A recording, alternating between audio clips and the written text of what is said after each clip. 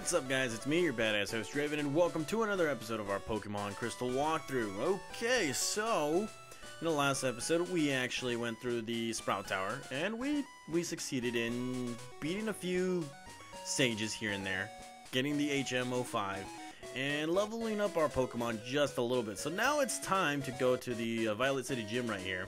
And as we all know, it is the flying type gym. Very first gym in all of Johto right here. Now, as you can see, Violet City Gym, Pokemon Gym, there is nobody ahead of us. Probably because our rival doesn't really need gym badges.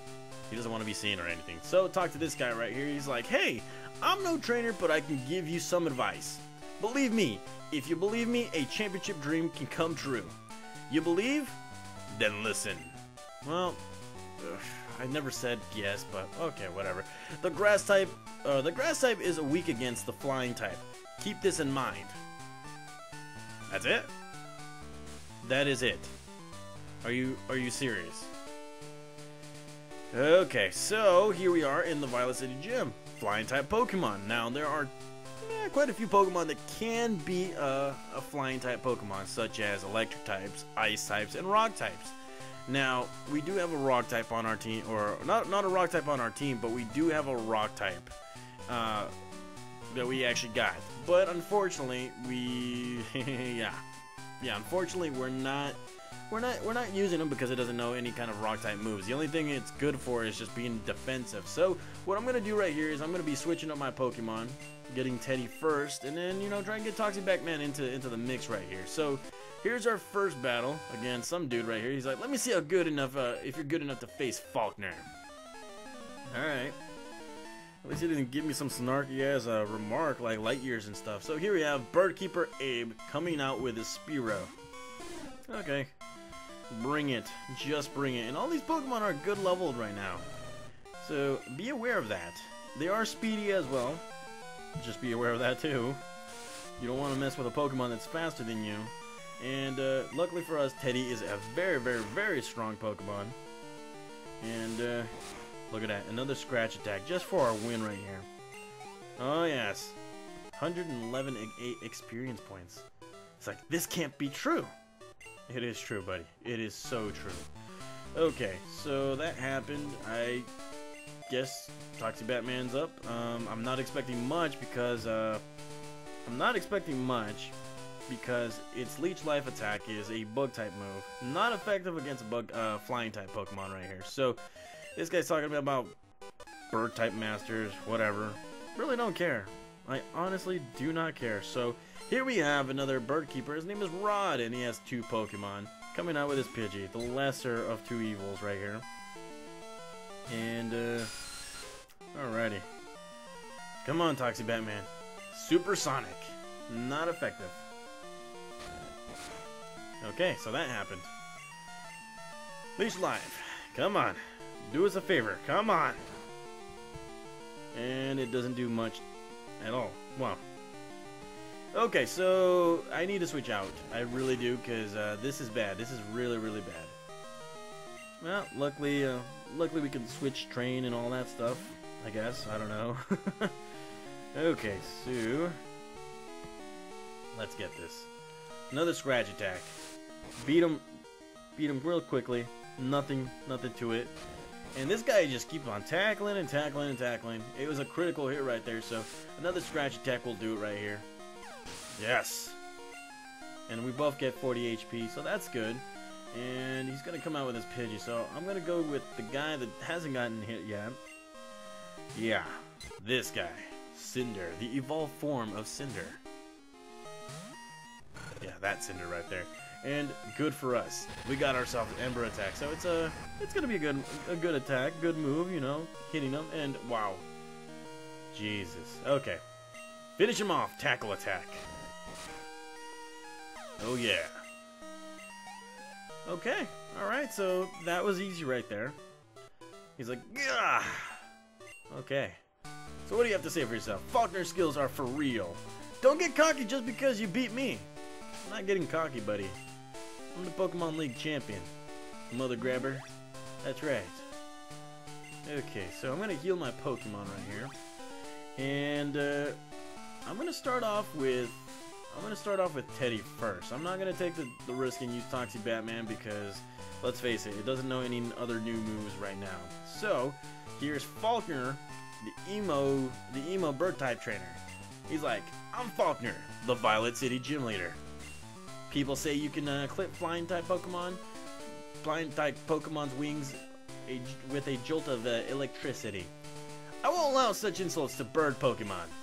I'll show you the real power of the magnificent bird Pokemon.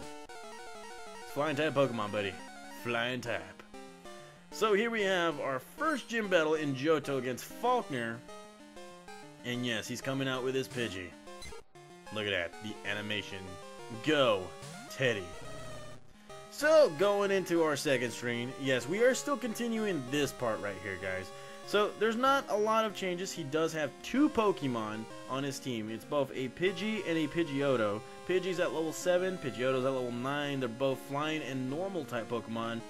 Um, Pidgey right here has Tackle and Mud Slap, and Pidgeotto has Tackle, Gust, and Mud Slap. Now, one of the biggest things that you guys should be worried about is if you do have a Rock type Pokemon on your team, be aware of that Mudslap attack because rock types are weak against ground types. So just be aware of that stuff. So going back to the screen right here, let's go ahead and just destroy this guy with a, with a scratch attack. Look at that. Takes half his HP. What are you going to do about that? Not a lot, but that was a critical hit. Going again with another scratch attack. Goodbye, Pidgey. Mm-hmm. Oh, yeah. And Teddy grows to level 12. Good stuff, good stuff. Learning, learning. And he's coming out with his Pidgeotto. So I'm going to go with Cinder right here. Cinder needs more more uh, pizzazz, more power, more destruction. He, just needs to he just needs to beat this evolved Pokemon right here. And how he got a level 9 Pidgeotto, I don't know. He probably went to the Viridian Forest in Pokemon Yellow. So here we go. Ember Attack. Hopefully for the win. No, not for the win. And uh, there's that Gust attack we should be worried about. And, uh, well, let's finish this guy off. Ember Attack for another win. Bye-bye. So there goes Pidgeotto. Lots of experience points in my Cinder. And, uh, oh yeah. Gym Leader Faulkner has been defeated. Darn, my dad's cherished po bird Pokemon. Alright, take this. It's an official Pokemon League uh, Zephyr badge. Alright, okay. We got the Zephyr badge. Look at that we got the Zephyr Badge. After what, six episodes? Probably? Zephyr Badge raises the attack of Pokemon. It also enables Pokemon to use Flash if they have it anytime. Here, take this too. And we got the TM31, very useful one. TM31 is, or he's telling us that a TM, you can teach a Pokemon a new move, but it can only learn it one time, especially in Generation 1. Think before you act, a TM can be used only once, TM31 contains Mud Slap. It reduces the enemy's accuracy while it causes damage. In other words, it is both a defensive and offensive move. Okay, alright, that's cool, that's cool. He's like, there are Pokemon gyms in cities and towns ahead. You should test your skills at the at these gyms. I'm going to train harder to become the greatest bird master. Yeah, good luck with that. Good luck with that. See ya. See ya. See ya. I'm flipping both of you guys off. Not Falkner, but I'm flipping all of you guys off. So, looking at this, leader Falkner, the winning trainers Draven. And that's right, your badass host got a got a gym badge. And he's like, nice battle, keep it up, and you'll be the champ in no time at all. I am the champ. Jesus, whatever. So now once you leave the gym, you get a phone call from Professor Elm. He's like, hello Draven, we discovered something about the egg. My assistant is at the Pokemon Center in Violet City. Could you talk to him? Okay, alright, okay, uh, let's do that then. So, before we end this episode, we're gonna go straight back to the Pokemon Center because A, we need to heal our Pokemon, and B, Look at this guy. He's like, Draven, long time no see. Professor Elm has asked me to find you. He has another favor to ask. Hmm, pretty much.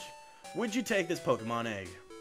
Eh, even if I say no, that you're, you're still going to give it to me. So yes, we got ourselves a Pokemon egg. Hmm. We discovered that a Pokemon will not hatch until it grows in, in the egg. It also has to be uh, with other active Pokemon to hatch. Draven, you're the only person that we, uh, we can rely on. Please call Professor Elm when the egg hatches. Okay, alrighty. So the other addition in the in Pokemon in the Pokemon games is Pokemon eggs, baby Pokemon. And right now we got ourselves our very first egg right here. It says it moves around inside uh, inside sometimes. It must be close to hatching.